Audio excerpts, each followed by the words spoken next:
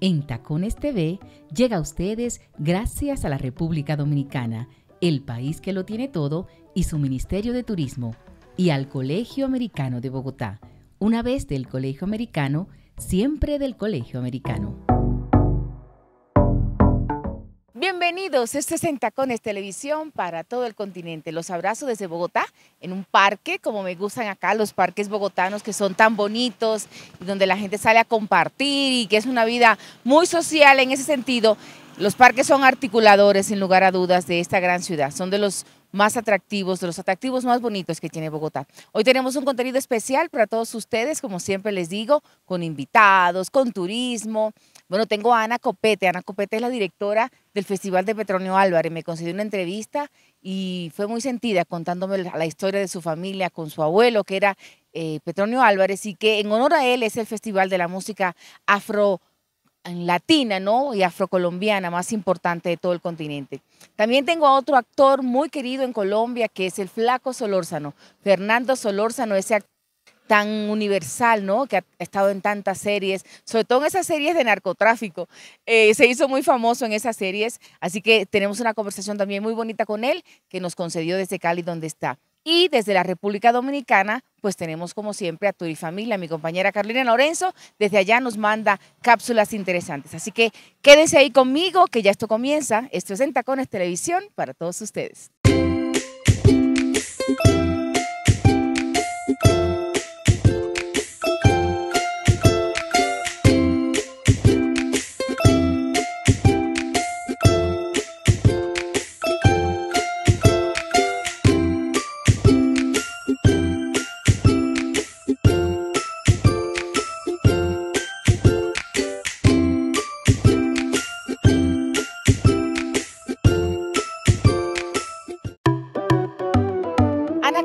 Directora del Festival Petronio Álvarez y nieta de este personaje en honor a quien se le dedica a este festival, el más importante de la cultura afrolatina en todo Sudamérica. Ella es Ana Copete, mi invitada, tuvimos una conversación muy bonita y quiero compartirla con ustedes. Ana Copete con nosotros en Tacones Televisión.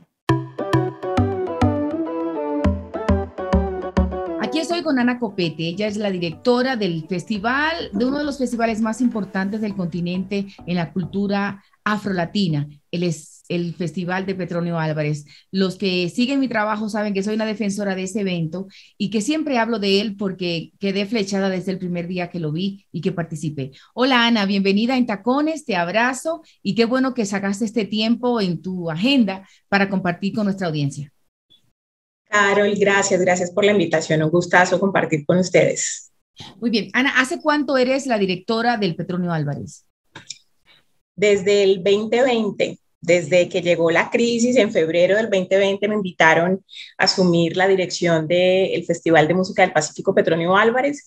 Llegué con grandes ilusiones de hacer un gran evento presencial cuando en marzo llegó la pandemia y bueno, a reinventarse todo, a pensarse el festival de nuevo. Em, y así lo hicimos, hicimos una edición virtual bellísima también. Así es, yo estuve muy pendiente de ella. Y en el 21 fue como un híbrido, ¿no? En el 2021. Sí, en el 2021 volvimos a la presencialidad, pero claramente tenía muchos componentes todavía virtuales, teníamos en la presencialidad restricción en materias de aforo, entonces estamos como volviendo un poco a ritmo después de pasar como esa crisis importante pues de, de, de la pandemia y esperamos que en este ya sea mucho más normal, ¿no? Ya se sienta la energía propia de, de los eventos presenciales. Sí, así es. Ana, tu historia un poco de por qué llegas al Petronio Álvarez, sé que eres nieta del maestro Petronio Álvarez, hermana de ese gran músico que yo admiro mucho, Esteban Copete, que ha estado con nosotros en Tacones Radio y Televisión. Un poco de tu historia, ¿cómo te vuelves tú una activista de la cultura afrocolombiana, de la cultura del Pacífico, hasta llegar a ocupar este puesto que eres el más importante del festival, ¿no?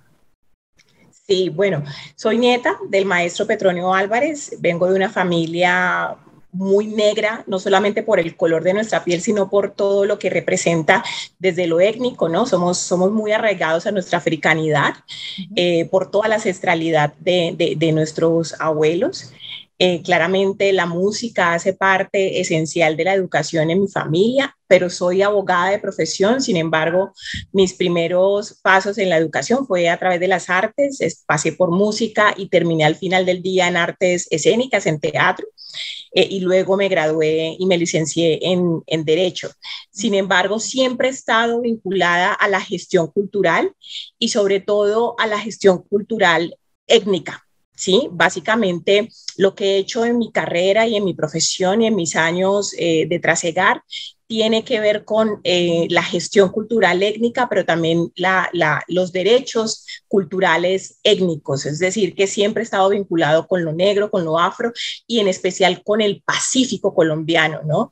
Desde ahí se ha arraigado como todo mi, mi, mi, trasegar profesional y por eso eh, llegué a la dirección del festival. Antes de eso estuve liderando un proceso muy importante eh, aquí en Colombia que fue la formalización del biche, que es una bebida tradicional del Pacífico y que fue penalizada por toda la historia y eso tiene una, digamos, una base de racismo estructural importante y eso también me permitió tener mucha visibilidad y desde ahí pues llego, llego al, a la dirección del festival pues tenía un plus de ser la, la, la nieta del petróleo en ese sentido, estar también emocionalmente vinculada con ese, con ese proceso.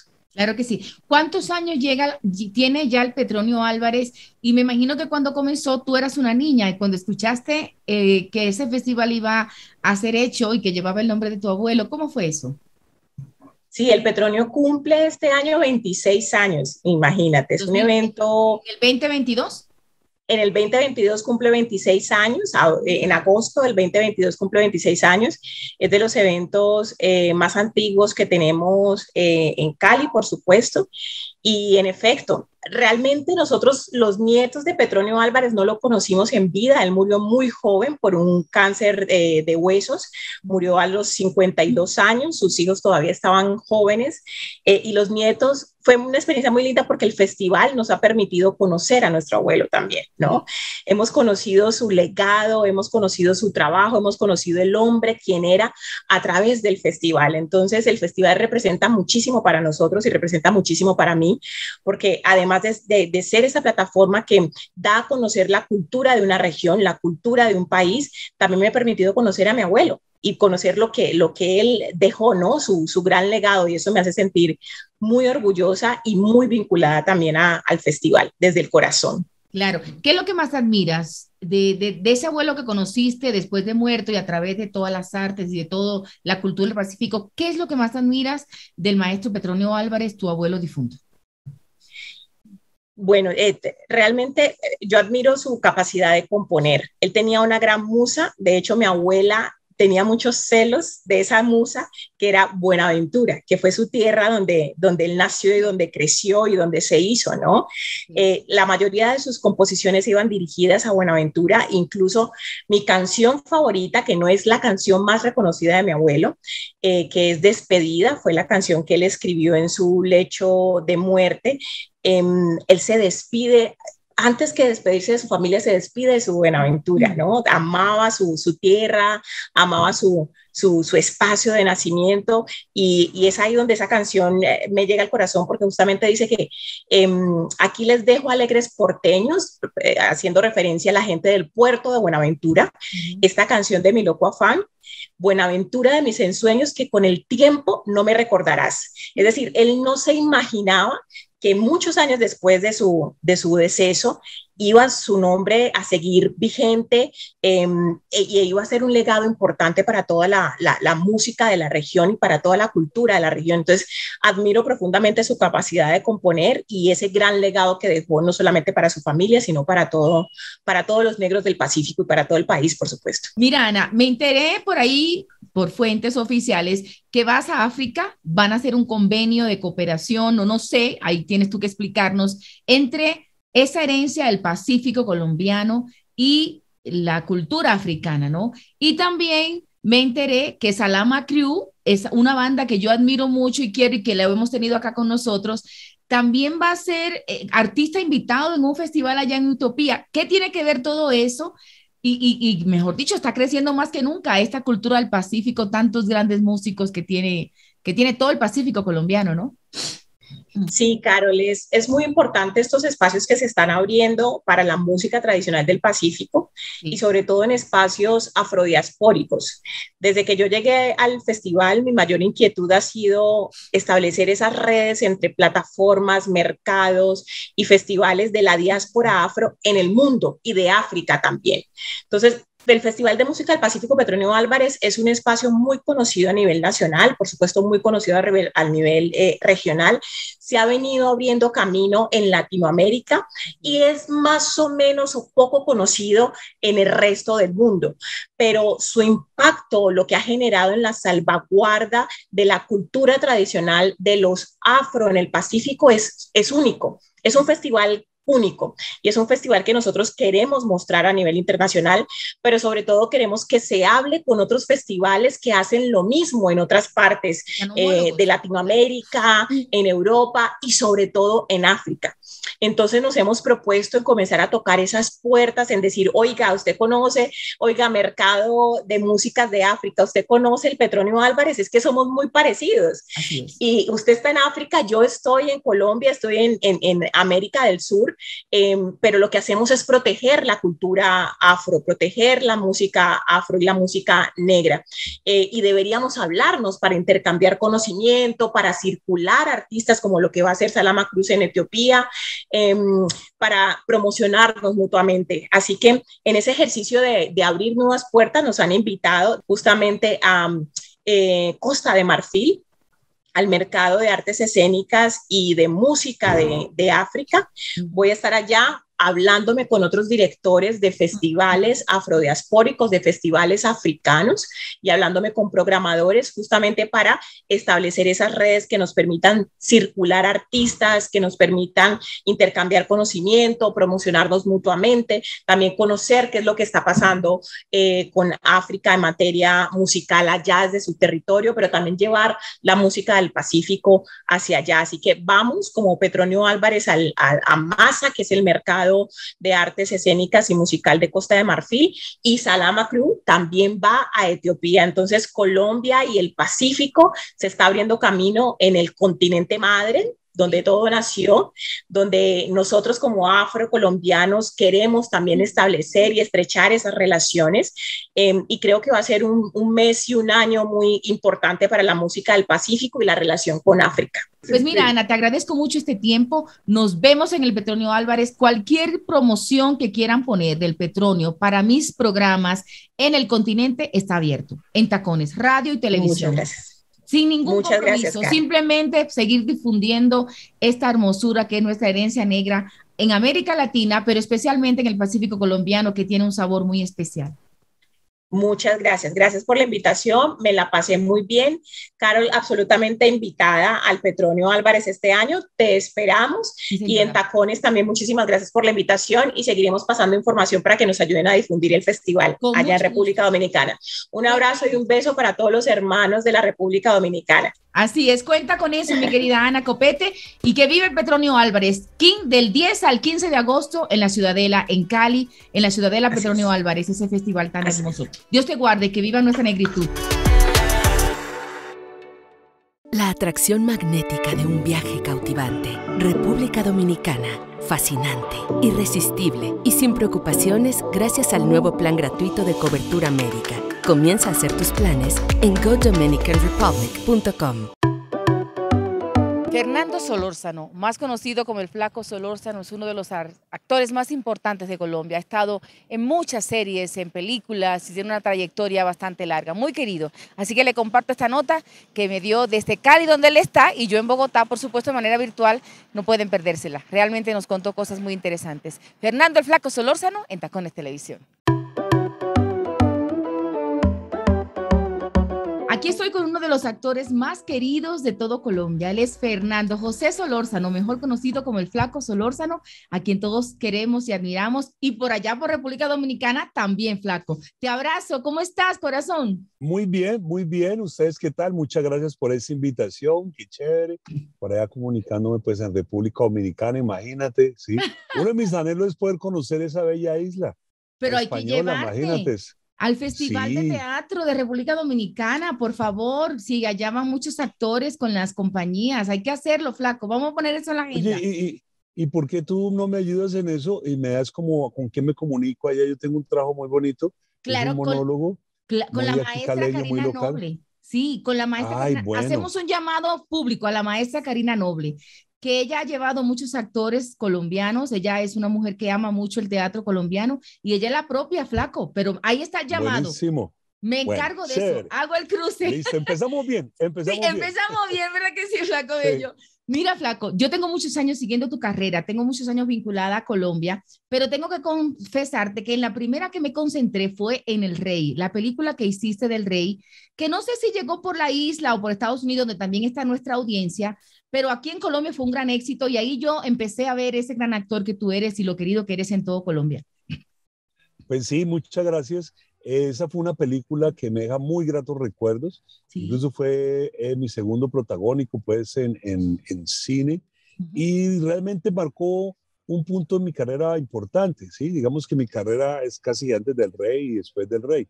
Sí. Eh, fue una película donde eh, digamos, el trabajo de mi trabajo, pues, le fue bien, eh, gustó, quedó bien realizado y la película en términos generales, pues, recibió muy buenas críticas, ¿sí? Eh, fue una película que se hizo con las uñas porque el director y productor, pues, era su primera y, no sabía en lo que se había metido. Sí, correcto. esa historia, esa historia también era, fue real, ¿no? Cuéntale un poco a nuestra audiencia, mm. si, no, si no se acuerda, si no la ha visto, como, como, cómo fue un poquito, así rapidito. Sí. Eh, esa es una historia real de alguien que se llamaba Jaime Caicedo Caicedo y fue apodado como el grillo. Y digamos que fue el primer eh, mafioso visible que hubo en Colombia. Entonces yo estaba niño, yo tenía por ahí unos 10, entre 10 y 12 años, cuando se escuchaba hablar del grillo, ¿no? y entonces no eran narcos, eran mafiosos, es decir, que se dedicaban a negocios ilegales, de casino, de préstamo de plata, de pronto bares, eh, y también ya incursionaban con la droga, no así pues, en, a medida como fue pues Pablo Escobar, pero ya ellos comenzaban con este tráfico de, de drogas ilícitas, tanto la cocaína como la marihuana. Y fue alguien muy popular en, en Cali, ¿sí? Eh, sin ser alguien tan, como, tan carismático. Sí. E, era más bien un, una especie de funcionario contador, como lo describe la gente, ¿no? No era un ese mafioso chévere, tal, que la pasaba con mujeres. No, era todo serio, vivía con su mamá. Ya ahí hay un punto. Un hombre de cuarenta y pico años que iba a trabajar con su mamá. ¿entiendes? Eso ya hay un punto bien, bien, bien particular del personaje. Así es. Y, y, ese fue el que le llamaron, le llamaron el grillo. Entonces el director hace una adaptación de esa historia real que se llamó El Rey.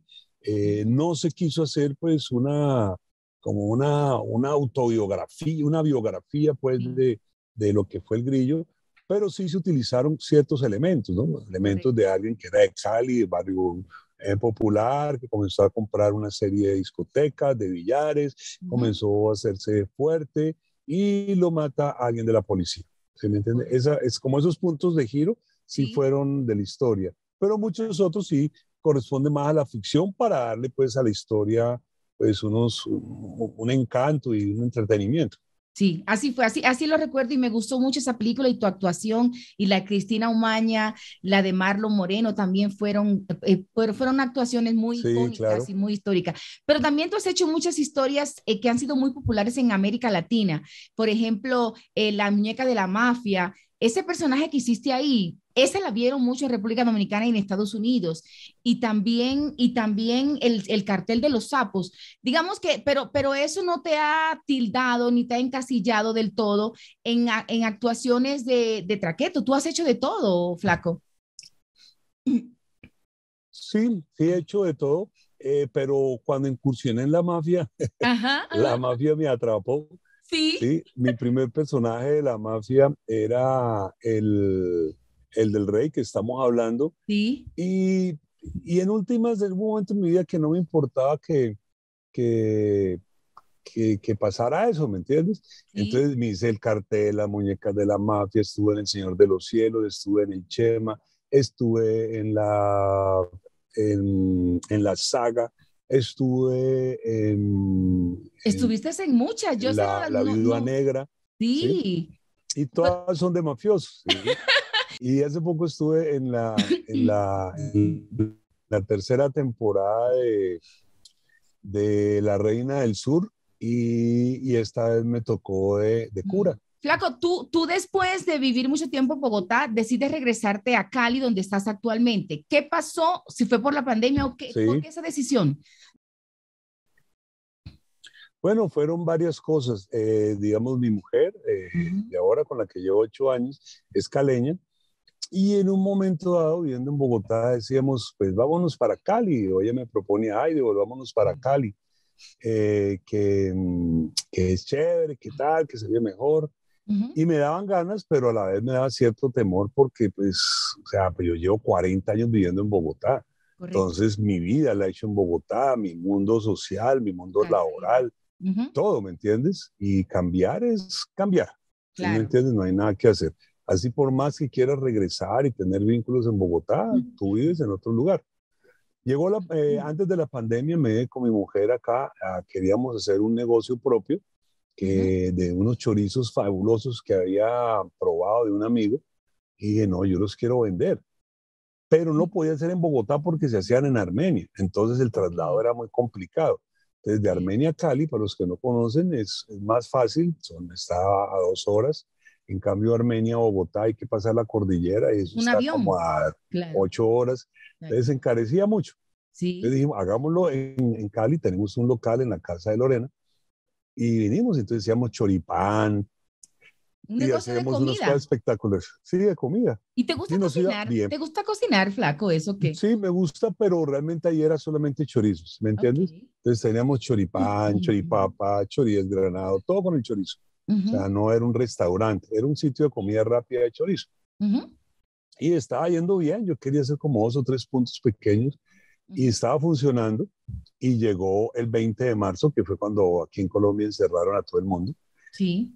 Y llegó la pandemia, esa, esa pandemia tan fuerte y esa cuarentena tan fuerte que duró seis meses. Sí. Seis meses y no había trabajo en ninguna parte. Sí me salió trabajo en, en Cali, con la alcaldía. Y ahí es donde tomó la decisión. Dije, no, pues yo me voy para Cali de una y, y allá me voy para allá.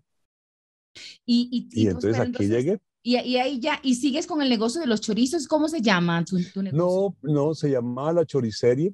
Ya la quitaste. y la quitamos, no hay mismos, le resistimos un tiempo, incluso eh, hubo varios problemas, tanto nosotros como el que producía los chorizos, también lo afectó mucho el paro, eh, digamos, el, el, levantamiento social que hubo pues en Colombia, sobre todo en Cali el año pasado, en la ciudad fue muy fuerte, ¿me entiendes? Eso se cerró prácticamente dos meses radical y duró otro mes ahí más o menos. Sí, señor. Entonces ahí tomamos la decisión de, dejarlo porque eh, no, digamos, no producía pérdidas, pero tampoco ganancias y el trabajo era fuertísimo. Entonces era un desgaste que no, como que no compensaba, ¿sí me entiendes? Sí, Entonces decidimos dedicarnos a, a, a, lo que sabemos, zapatero a tus zapatos, Así es. Y, y, entonces comenzamos a hacer cosas en Cali y ahora tengo un proyecto muy especial. Me dicen que vas a poner una escuela de actuación para que vengan estudiantes del mundo entero. Los dominicanos les gusta venir a estudiar actuación a Colombia, así que del tiro vienen un par para tu escuela desde la isla. ¿eh? Sí, aquí les hago la invitación, es una escuela que se llama Escuela CREE Escuela Cree. Porque sí, porque no solamente vamos a impartir un conocimiento académico, sino también queremos formar eh, personas que crean en sí mismos, ¿me entiendes? Gente empoderada, gente con, con mucha autoestima, ¿sí? Eh, jóvenes muy luchadores y, y unos actores mm, no tan pasivos en el sentido de que siempre el actor tiene que esperar que lo llamen y si no lo llama un director, un productor, entonces se queda uno ahí vaciado. Sí. Sino que queremos que sean unos, unos actores que, bueno, si no llaman, tenemos que resolver el asunto. Entonces hagamos producciones propias. Y ahora la tecnología, a diferencia de mi tiempo, o sea, si yo fui actor hace 30 años, y hace 30 años, pues eh, si no te llamaban era muy complicado. Ahora existen redes sociales, ahora existen unos celulares, incluso unos celulares muy buenos, eh, con la creatividad uno comenzar a generar contenidos. lo que queremos es formar actores muy bien formados en la parte actoral y también muy bien formados en la parte de plantear proyectos y de crear historias. Listo. Mira, gracias por este tiempo, de verdad que sí. Eres un sol tal como te imaginé. Muchas gracias. Un gran actor, pero sobre todo un gran ser humano. Fernando Solórzano, el flaco Solórzano, uno de los actores más queridos de Colombia. Te mando besos y nos vemos en República Dominicana. Muchas gracias. Sí, vamos a hacer esa vuelta. Ya vamos a hacer el Festival de Teatro. Va a ver que sí. Sí, señor. Bueno, así, mismo, así mismo va a ser el Festival de Teatro de República Dominicana. Vas a estar ahí tú con alguno de tus monólogos. Dios te guarde, flaco querido. Fernando Solórzano conmigo.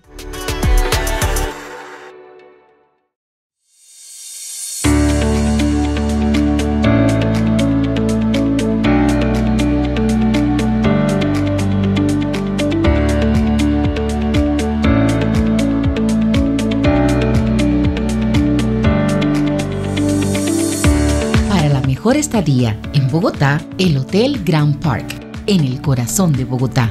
Búsquenos en las redes sociales Hotel Grand Park Bogotá. Turifamilia en Tacones llega a ustedes gracias a la República Dominicana, el país que lo tiene todo.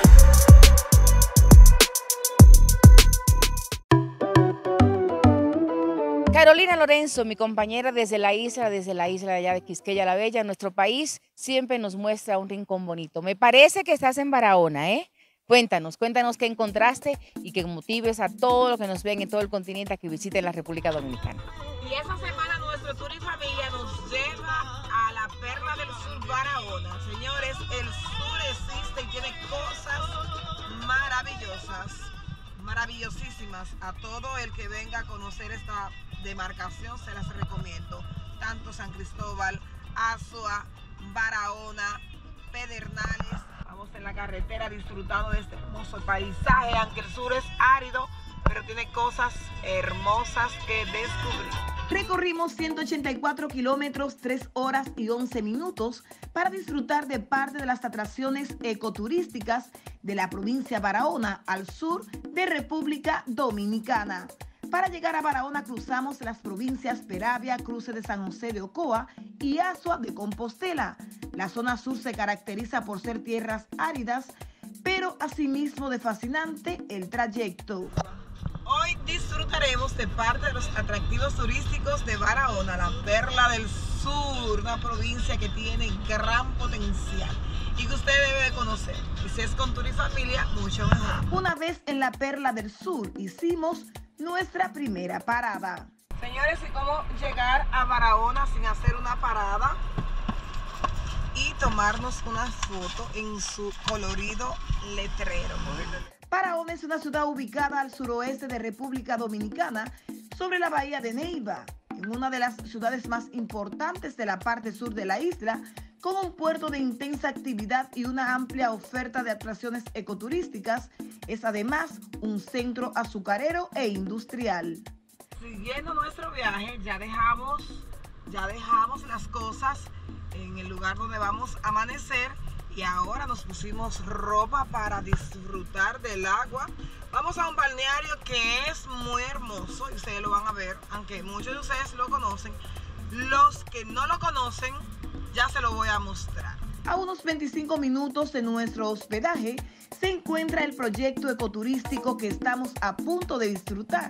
Para llegar a él recorrimos las hermosas costas de Barahona, Playa Los Patos y Río San Rafael. Villa Miren es una propiedad privada que consta de varias piscinas rústicas de aguas naturales que salen de las entrañas de la montaña, rodeada de árboles silvestres. Para disfrutar del lugar se pagan 300 pesos en la entrada y debes llevar tus alimentos.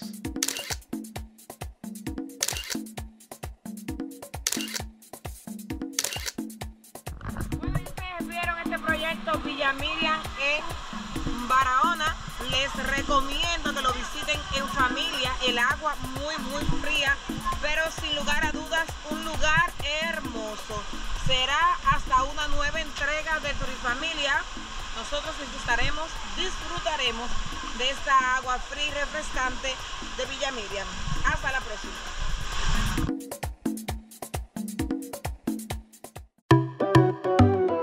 Bueno, espero les guste, ¿no? Que les haya gustado nuestro contenido de esta semana, como siempre, haciendo un esfuerzo por una televisión de calidad, continental que nos alegre la vida a todos y que aprendamos cosas interesantes. Les mando un fuerte abrazo desde Bogotá, recordándoles siempre que nos pueden seguir en nuestras redes sociales. En la mía personal, mi Instagram, que es lo que me gusta, Carol Fior Pérez Periodista, ahí seguro le aparece. Y por supuesto, nuestro canal de YouTube, en Tacones TV. Y si nos ve por ahí, pues compártalo con todos sus amigos y familiares para que nos sigamos volviendo tendencia en todo el continente. Esto fue en Tacones Televisión para todos ustedes.